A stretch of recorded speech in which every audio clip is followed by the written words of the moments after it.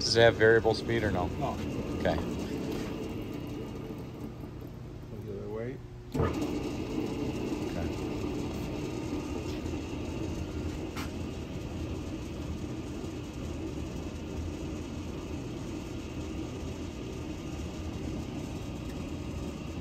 Currently wired for 440. This dual voltage, but wired for 440.